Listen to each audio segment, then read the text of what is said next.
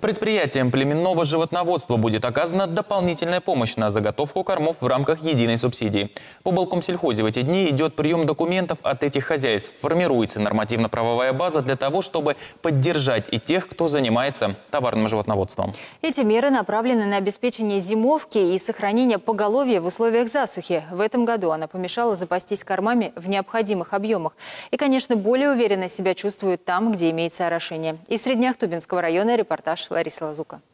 Александр Соловьев свое молочное производство начинал с одной коровы. Спустя 17 лет их более тысячи. Породистые галштино-фризы. Ферму пришлось расширять. Новый корпус уже годится для стойлового содержания летом. Его уже частично заселили. Осенью подготовят к зимовке. Здесь осталось только вот пять ворот поставить с этой стороны, пять ворот с той. И натянуть сетку москитную пленку. Все. Каждая корова здесь дает в год до 6,5 тонн молока высокого качества. Имеет значение и технология дойки, и содержание самого стада. Ну, у нас практически все стадо галштины. Галштины хорошо дают на сочных кормах. И сами видите, коровы в хорошем состоянии. Коров здесь на выпас не гоняют, кормят круглый год. В рацион входит и фураж. Его выращивают сами, но в этом году из-за засухи весь ячмень погиб. Зерновые мы полностью потеряли. Сено как по оценке администрации района, у нас потребность района 5 тысяч тонн сена. Вырастим, вы, соберем всего ну, максимум 3 тысячи тонн. 2 тысячи тонн будет не хватать, дефицит сена будет ощущаться. Вот. Зерновые, ну, на фураж я попал.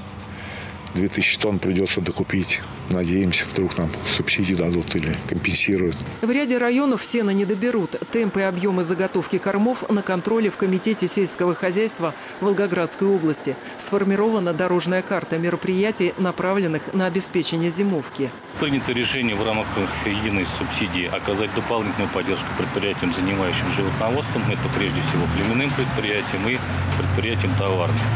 С 20 по 30 число июля месяца уже принимаются документы от племенных предприятий. Будет оказан дополнительные выплаты тем, которые были сделаны в начале года в размере 20%.